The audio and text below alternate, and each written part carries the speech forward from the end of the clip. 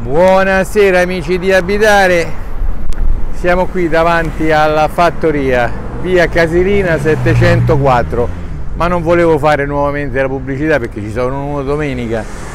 E... per una festa. E quello che voglio mostrarvi invece è in questo cassonetto.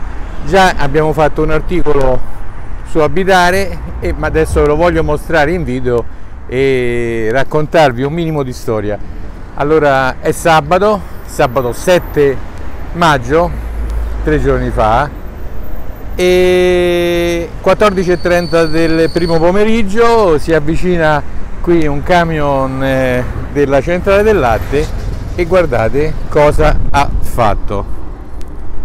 No dico non so se scherziamo. È oltre mezzo cassonetto perciò sono centinaia di litri. Questo è il latte eh, della centrale vedete, parzialmente scremato. Se vedete bene voglio dire e credo si possa vedere la scadenza è 13 maggio cioè l'hanno buttato gettato qui dentro il giorno 7 questo invece è latte intero uguale 13 maggio. Oh, guardate posso prendere un litro perché è talmente portata di mano eccolo qua. Vedete? 13 maggio. Cioè ancora si potrebbe bere.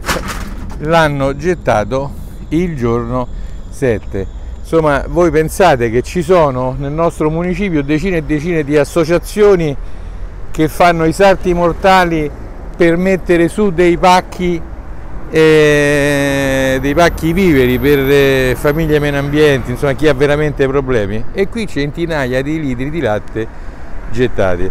Ho avvisato il presidente del municipio, l'assessore all'ambiente e chiaramente non ho avvisato Ama, ma insomma poi qui pure questa è una cosa da, da sfatare, i cittadini segnalano alle istituzioni più vicine e queste eh, devono darsi da fare per evitare. Insomma i cassonetti romani ci sono intorno, rifiuti di ogni genere, plastica non ritirata che deborda e che rimane in terra chissà quanto tempo, sacchetti di immondizia, materazzi, carcinacci, chi più ha più ne metta e qui addirittura il latte fresco.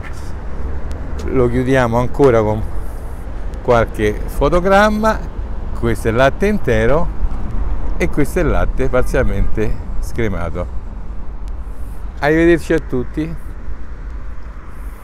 Questa è via Casilina e qui sulla destra il parco di Centocelle.